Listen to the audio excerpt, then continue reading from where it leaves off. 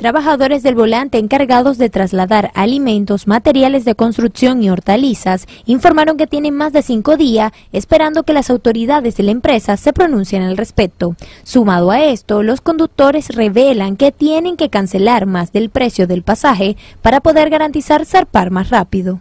Eh, hay empleados que tienen el control aquí del metraje, de las tarjetas de cuando uno llega, que entrega su boleto, y ellos chequean y hacen su tarjeta. Entonces hay algunos ¿me entiendes? Que se prestan para entonces que si General de atrás le ofrece que si 300, 500, entonces estamos en este canal, entonces los tienen del otro canal del lado allá y al momento que el ferry va a caer, va, o sea, va a cargar, entonces ellos lo sacan por la parte de allá. ¿Me entiendes? Y entonces pasa por sobre de otros que tienen varios días aquí ya, ¿me entiendes? Hay cosas que la conocemos los guayeros, eso, eso no es embuste, eso es cierto, todo eso es cierto, muchas cosas, es cierto. Sí hay un poquito de inseguridad y en Puntepiedra también hay bastante inseguridad. Incluso también entran personas a dormir que son personas de la calle. Pero sí hay. Sí hay.